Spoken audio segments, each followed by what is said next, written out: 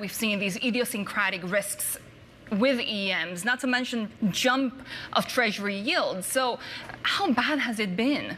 It's been a really bad month for emerging market assets. I mean, when you look at the index for dollar bonds, they've basically halved the gains for the year. It's only 2.5% up for 2023.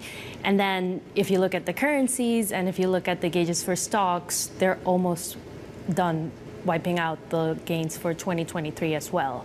So, you know, it's August. You can argue that there's very low liquidity, that, you know, some people are out on vacation, not everybody's tied to the screen as they usually are, and that can exacerbate the moves. But for EM, it seems like the risks are coming from everywhere. I mean, it's dismal economic data from China, it's higher US Treasury yields, elections in Argentina, elections in Ecuador, in Guatemala, and then you have shocking revelations like what happened happened last week with the Central Bank of Nigeria.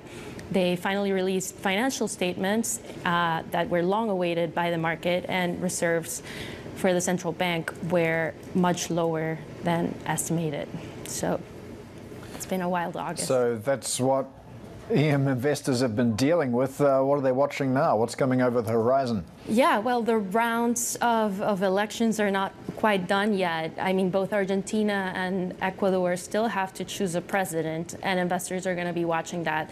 They're going to be watching for the actual election in Argentina, where a wild card candidate uh, came as the winner in the primaries last week, and they're going to be watching for a second round in Ecuador.